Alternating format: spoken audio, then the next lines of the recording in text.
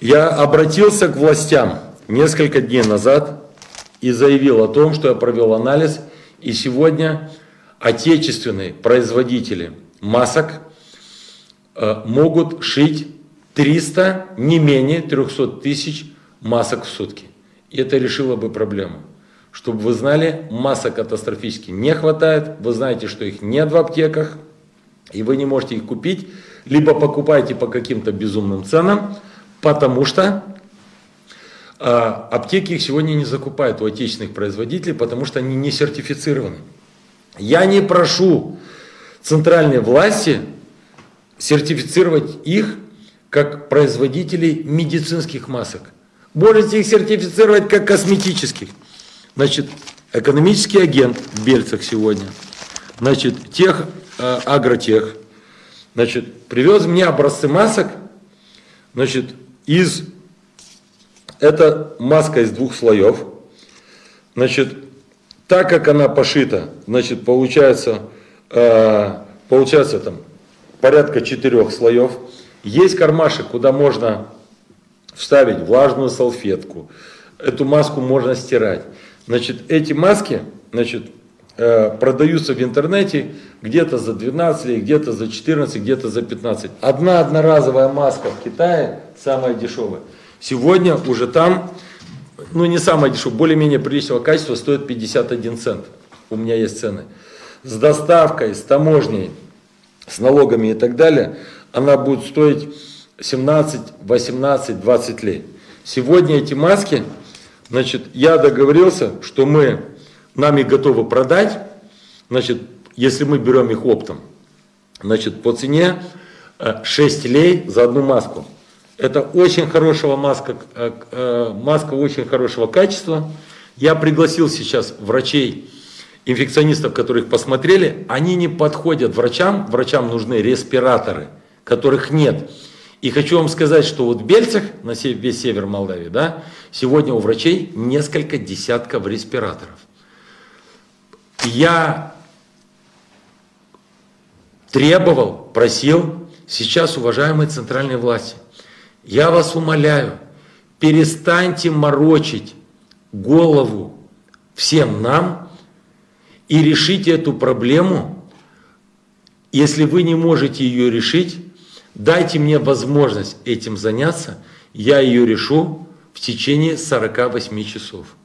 Я узнал ситуацию в Пекинском аэропорту сегодня, в Китае, узнал ситуацию, еще раз провентилировал в Кишиневе, узнал цены на самолеты – Дорогие друзья, со всей ответственностью вам заявляю, что вылет самолета в Пекин, погрузка, 8 часов положенных отдыха для бортпроводников, для пилотов, 4 часа на погрузку, остановка на дозаправку в Казахстане и туда и обратно, все это занимает 39 часов. На прошлой неделе я чтобы не быть голословным, хотел посмотреть, чем закончится такая операция в соседней Румынии. В среду они вылетели, в пятницу они уже вернулись со всем грузом, с респираторами, защитными экранами и так далее. И защитными экранами не как делаете вы, указываете сегодня, а, будучи жуликами и ворами, по-другому вас не назовешь, по 50, по 55 лет за штуку. Защитный экран сегодня самого хорошего качества стоит 71 евроцент. Я вам могу дать центральным властям телефон производителя в соседней Румынии.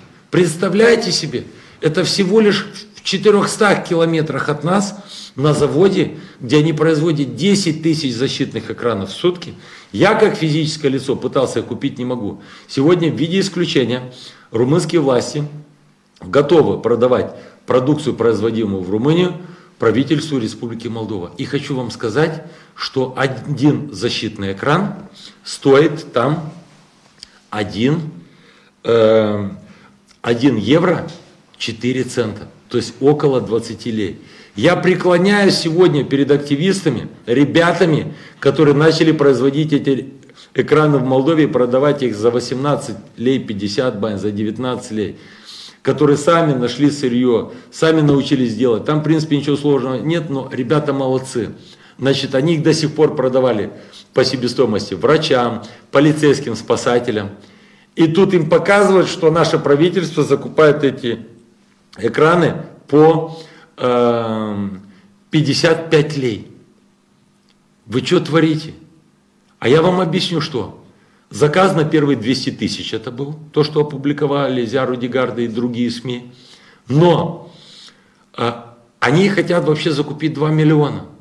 Прикольно, правда? Иметь под боком в Румынии по 1 евро 4 цента. Значит, и покупать их у экономического агента за 55 лей почти за 3 евро. То есть, э, с учетом, если их сюда привезти с доставкой, оплатой НДС, хотя я бы сегодня отменил НДС не только на медицинское оборудование и медикаменты, а его в сегодняшней ситуации я бы его отменил даже на вещи первой необходимости, на хлеб. Сегодня можно было обязать Молдова газ продавать по закупочным ценам сегодня газ конечным потребителям и уменьшилась бы в разы себестоимость а, производимой той или иной продукции. Вы понимаете, что сейчас на этих экранах, про которые активисты начали вчера шуметь, я говорил на прошлой неделе, да, Прикольно. 2 миллиона экранов. Умножаем на полтора евро. Сколько решили заработать на каждом. И получаем 3 миллиона евро. Кто-то решил прикарманить. Кто там в доле, мы потом разберемся. Вместе с прокуратурой, и остальным. Но еще раз повторяю.